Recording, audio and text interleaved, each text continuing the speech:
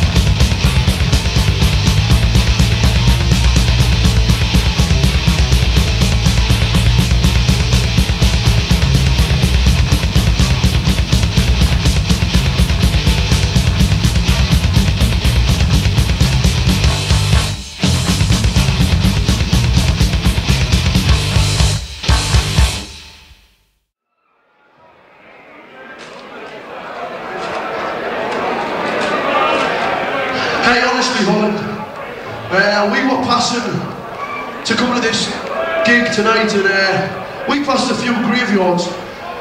I see more fucking life in the graveyards than I did here tonight. Come on! Is everyone enjoying themselves?